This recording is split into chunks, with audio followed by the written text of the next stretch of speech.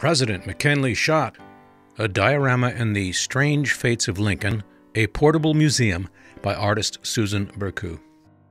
As soon as Robert Lincoln descended from the train in Buffalo, New York, he was handed a telegram with this shocking news. He was with his family to visit the 1901 Pan American Exposition, the glorious promise of the 20th century. President McKinley Shot shows the Pan American Exposition where the assassination took place. Sumptuous exhibit halls on the 350 acre park dazzled with the wonder of electric lights powered by the nearby Niagara Falls. Inside the domed Temple of Music, the magnificent organ was playing while popular President William McKinley greeted a long line of fairgoers. When he saw the white wrapping on the next person's hand, he thought it was a bandage. Instead, it was a revolver hidden under a handkerchief. Leon Czolgosz, a self described anarchist, shot twice.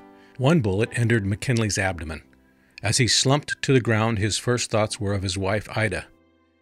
Be careful how you tell her. Oh, be careful. McKinley conducted his first presidential campaign from his Canton, Ohio front porch rather than compete on the stump with the captivating orator William Jennings Bryan.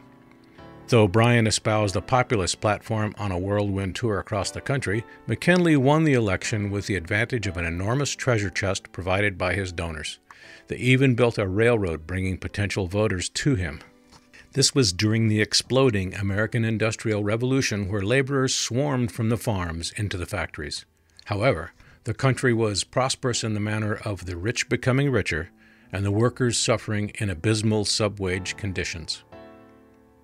McKinley advocated the gold standard symbolized by the gold coin on the reverse of the diorama. The gold prospector who supported McKinley renamed Denali Mountain after him.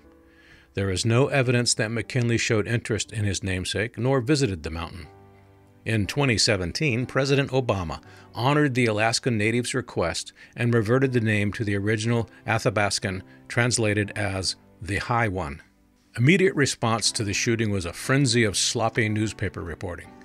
When Czolgosz said that he was influenced by the speeches of known anarchist Emma Goldman, she was arrested and vilified by the press as the high priestess of anarchy. After two weeks, she was released for a lack of evidence involving her in the assassination. She would reemerge in the 1970s as an icon of the feminist movement.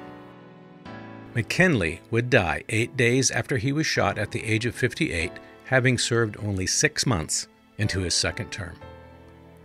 This exhibit in the Strange Fates of Lincoln, a portable museum, was created by artist Susan Bercu.